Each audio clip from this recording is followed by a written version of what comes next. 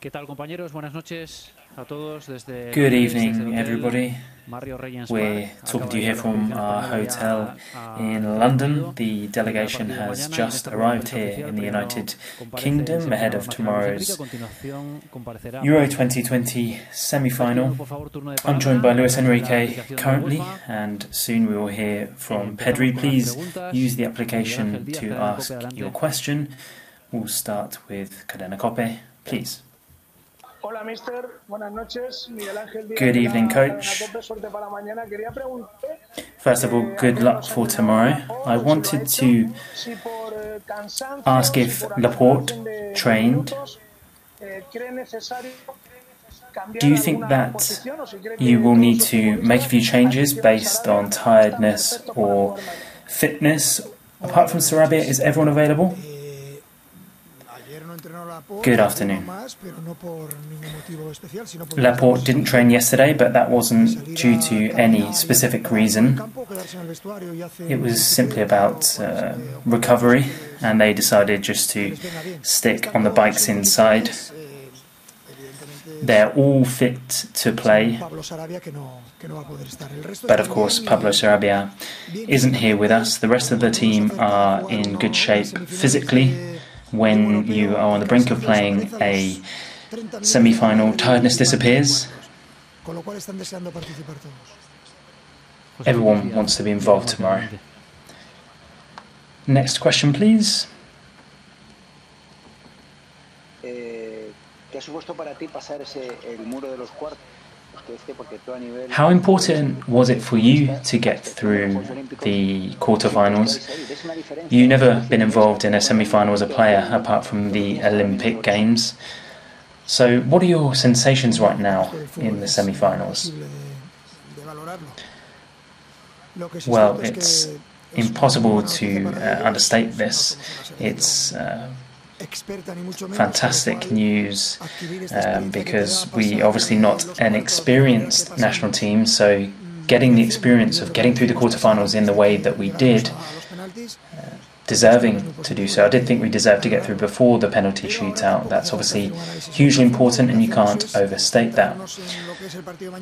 What we are doing now is focusing on the game tomorrow, focusing on the huge opportunity we have tomorrow opportunity to compete in a final.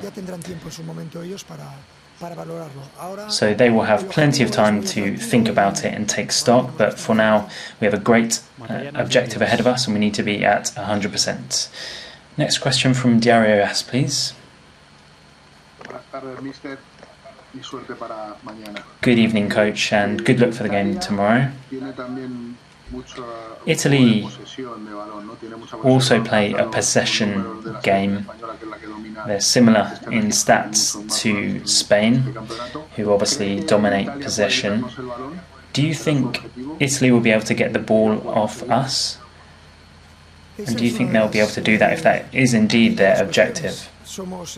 Well, I think that's one of the main questions, really. We are leaders, as you say, in terms of possession stats, but they too are a side that can use the ball and enjoy their football with the ball. Therefore, I guess that's the first battle to win.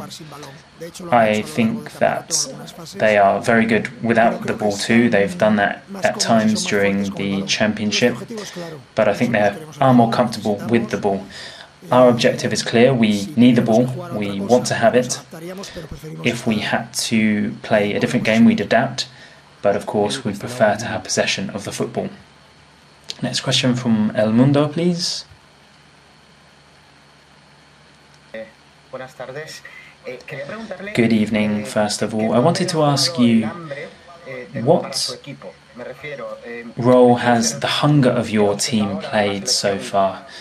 You were saying that you really don't have that much experience at international level, and that usually is replaced by hunger. To what extent has that hunger played a key role throughout these championships? Thank you. Well, I haven't seen that characteristic hunger. I've seen a player, a group of players that uh, ever since the start of the training camp, they've shown real desire to win a place in the team. I don't know whether it's a question of hunger, I think it's a question of good attitude, and all good teams have that. I think in terms of what we have tried to do, it is uh, celebrating the good qualities that we have, and trying to neutralize the weaknesses and ensure that they aren't seen as much as possible, and to generate a good team environment. I think hunger is more associated with your desire of achieving something big, and all national teams want to do that, of course. Next question from Cadena Ser, please. Good evening, coach. Since the your first game in Wembley, you've always said that this is a family and that your goal was to be involved in a big game in this legendary stadium. What role has the federation played, the president too? How important is it to have that support from the federation and the president for this group of players? Because of course it will be a success of uh, three years, not three weeks.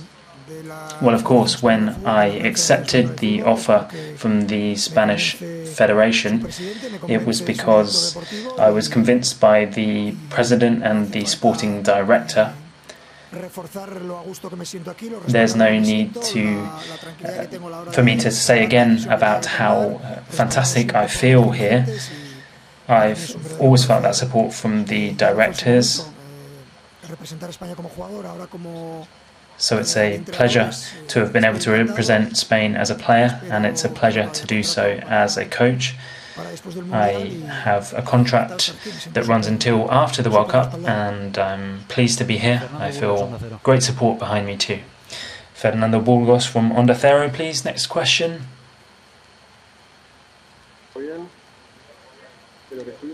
Can you hear me?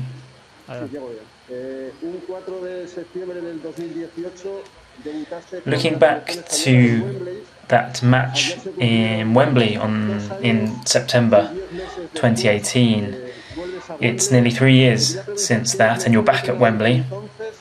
Do you think you're a better coach than you were then? And could you tell us a little bit about the process of evolution between the two games? Well, I think it's better for others to judge me. I don't have any opinion on that. I'm very relaxed in terms of the work I'm doing. I try to give 100% in everything I do, and I'm surrounded by fantastic people, and that's uh, very lucky for me. Uh, my collaborators make a huge copyright contribution, and that's very important. So, in terms of whether I'm a better coach, I would just say I am who I am. And of course, I want to continue improving and achieving more things. Many players have changed, of course, and that I think was what I said on the day I was unveiled as Spanish coach. Of course, players change regardless of their names and the clubs they played for, and that's what I have tried to do throughout my time as Spanish national coach. Ramon Hernandez from Radio Nacional.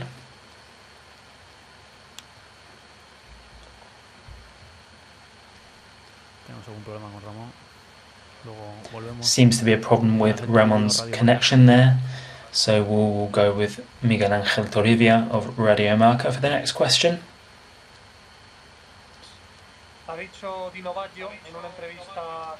Dino Baggio has been speaking to the press and has said that if Spain win the Euros, it will be down to you. Therefore, he's uh, saying that you are more important than the players. Would you agree with the notion that you are the leader and that if Spain do win, it will be your victory? Well, I'd have to say no. Of course, I'm a leader, I've always said that, but I don't enter the pitch. The important people are those that enter the pitch and those that we have plenty of leaders in, in my team. The difficult thing is to press well, score goals, be attentive to runs, and we have plenty of players that can do that. If we are lucky enough to get through to the final, it will be down to the players. Next question, please.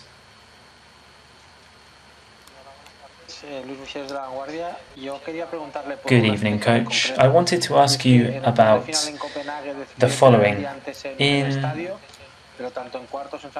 the round of 16, you trained the day before the game at the stadium, uh, but today you haven't, and you didn't in the previous round either. Could you explain that decision, please? Well, it's very simple. We weren't able to do so in order to preserve the pitch. There have been plenty of games here in Wembley. Same thing in Copenhagen. We weren't able to train on the day before the game. It's a shame because that's always a great training session for the players. But at the same time, we understand that the priority is maintaining and looking after the quality of the pitch. Next question from Goal, please. We've just come from the Italy's Italy squad's training session. Both Bonucci and Chiellini were involved in the team. Are you going to be focusing on what Italy do in training? They're very important players, really experienced, but I don't pick my team based on this kind of information. What I'm focused on is what I can control in terms of our starting lineup, in terms of what we want to achieve on the pitch. Of course, I'd like to. I would love for Spinazzola to be involved tomorrow, but I'm sure that the more good players that are on the pitch, the better it is for the game of football. Next question, please. Eh,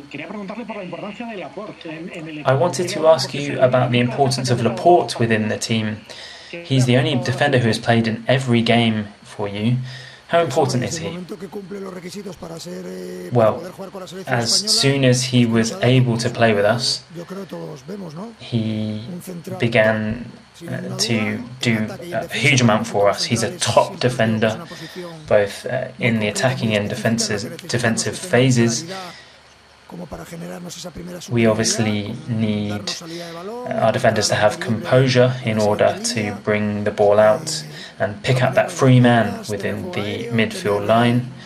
He is strong in the air, he can play with both feet, he is uh, physically strong, he's quick, he's strong, as I've already said. He is good at playing on the front foot, he is good with his covering play, so he's a top defender, and we are delighted that Aymeric has decided to play for Spain. Next question, please.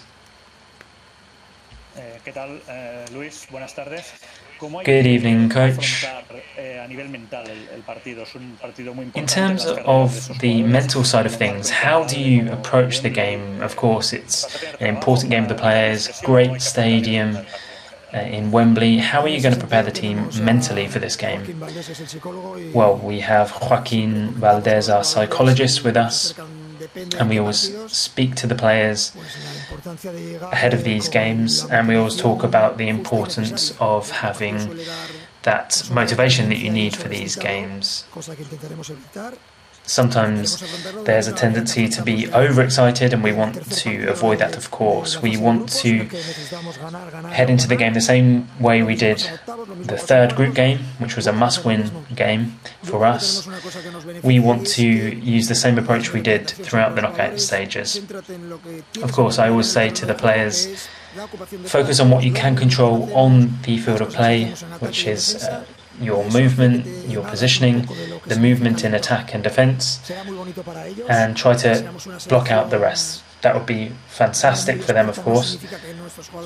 Of course, we're not an experienced team, but that doesn't mean we don't have that experience in the game because many of our players have played at a very high level abroad, so they're used to these games. But of course, you're representing a whole country in one of these games, so that's a very exciting prospect. But I hope that we are up to the challenge and that we can give the fans something to shout about. Ramon Hernandez from Radio Nacional, please. Next question. Still got the same problem there with Ramon. Javier Cáceres. Next question from you, Javier. Hola, Mr. Um, Good evening there, Coach. I wanted to ask you about the stadium. It's going to be 60,000 fans at Wembley. All of them are going to be British.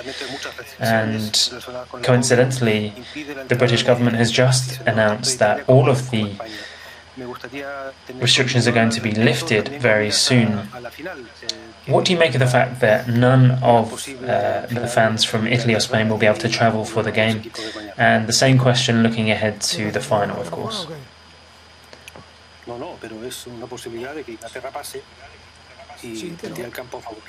It's a possibility that England will go through, and of course, they will be with lots of fans within the stadium. Well, I think Regardless of those factors, it's a situation which is strange, of course. I hope that there are Italians and Spanish in the stadium tomorrow, more than they are Englishmen, but it's one of those things that we can't control, so we're not going to uh, spend even an ounce of energy thinking about that. We accept it, we love it for it, we love for it to be different, but there's not much else we can say about that. We're going to move on to some Italian journalists. Mercato, please, first.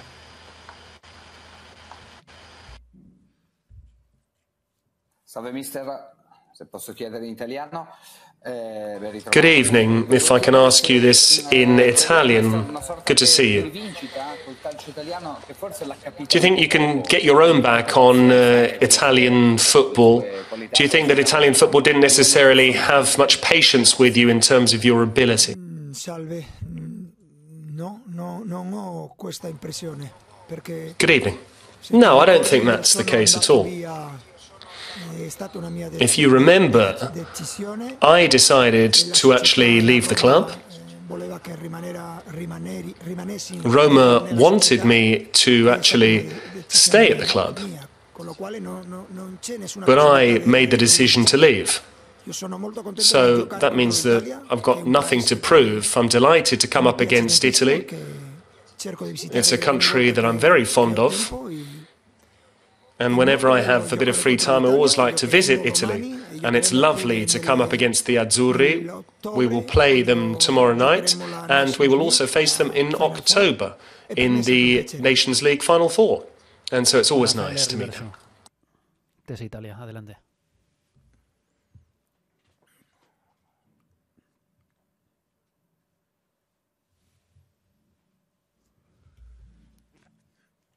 Creo que te hemos perdido. Vamos con Daniel Lo Mónaco del Romanista. Adelante.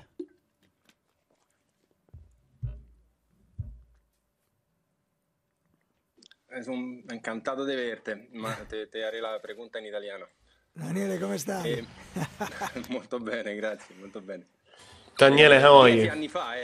Very well, thanks. It was a decade ago when you were unveiled at Roma. We were all a bit younger then. And I wanted to ask you the following. You just said that you don't know if you're necessarily a better coach, but I wanted to know whether what you thought back then about football is what you're still doing today, and obviously you've achieved a great deal since then. This might be something that you're missing, obviously, making the final with Spain. And will it be nice to see Daniele De Rossi tomorrow night? Absolutely, it'll be wonderful to see Daniele tomorrow night. I've uh, spoken to him on the phone. That was two or three weeks ago. And I'll be delighted to uh, once again see him. We were indeed uh, a lot younger a decade ago, that's for sure.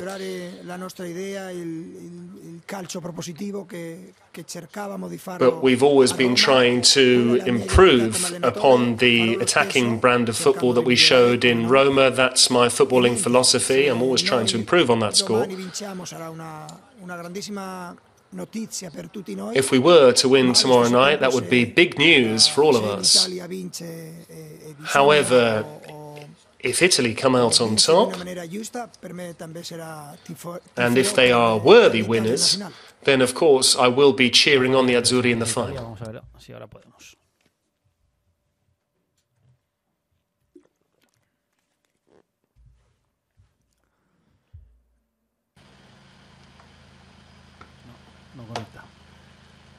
Vamos con Theo Squires de Liverpool. We're going to move on with Liverpool Echo. Next question. Thank you.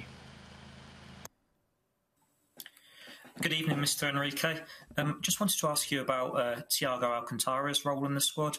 Obviously, earlier you said um, your side wants to play lots of possession football, and he's one of the best passers in world football. Um, he finished the season strongly with Liverpool, but for you, he's been more of a, a substitute player. So I was just wondering if you could explain your thinking behind his role in the squad and how important he is. Well, Thiago is a very good uh, player. You you know, and everybody knows about his uh, quality. But we're a strong team, and I try to to give them uh, minutes, and he's helping a lot uh, the squad because uh, he's an experienced player, and we are uh, very happy to have him in the in the squad. After that, I have to decide and and my decisions speaks much better than me. Vamos acabando. Kieran Canning.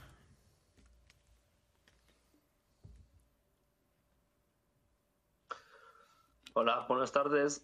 Eh, todo el mundo recuerda el codazo de Tassotti a ti en Good evening. Everyone remembers that famous elbow from Tassotti many years ago. Do you have a, a, a little bit of unfinished business with Italy? No, no, not at all. That was so long ago. I've been able to speak with him a few year, few times over the years, and he's a very honest guy, a good person.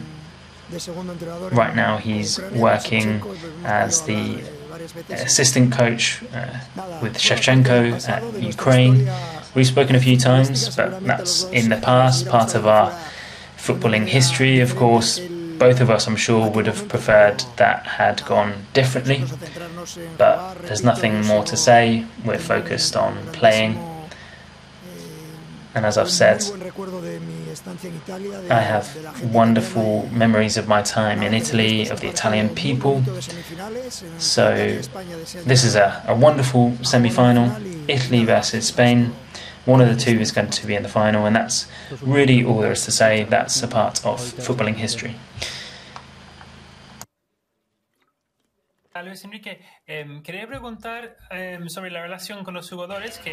Good evening. I wanted to ask about your relationship with the players. In interviews, they've said that you have a great relationship with them and you're very close to them. To be honest, that's not the image we had of you when you were the Barcelona coach. Do you feel you have a greater affinity with the players here with Spain? I've always been that kind of close coach. I love having that close relationship with my players. In fact, it's one of my favourite things about the role. I try to live vicariously through the youth of my players and try to transmit my footballing philosophy towards them. Perhaps you should not ask players about their current coach because obviously they all want to play. They want me to pick them. Perhaps you should ask them about me when I'm not their coach anymore. Maybe they'll say something a little bit more real. Last question from As, please.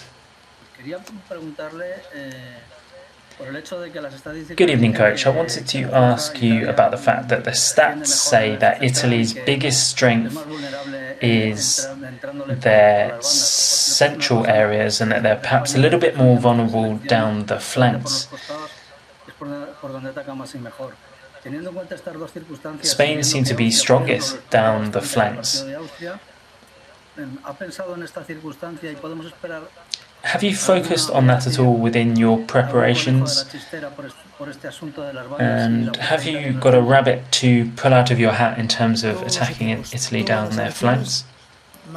Well, all national teams keep players in central areas, and uh, as a rule, there are there's a lot more space down the flanks. That happens in every game, in every knockout game. Of course, we're going to try to use our play in order to make the pitch as wide as possible and cause them as many problems as possible. But of course, the uh, central corridor is the quickest way to the goal, whether it is down the flanks or through the middle at the end of the day, it is about uh, controlling the ball, moving well, and that's designed to create uh, lapses in attention within the defence. But I think it's a, a, very normal thing in football to have uh, the numbers blocked down the middle. We're going to have another try with Rafael. Here he is. You can hear me now, can you not? Good evening, coach.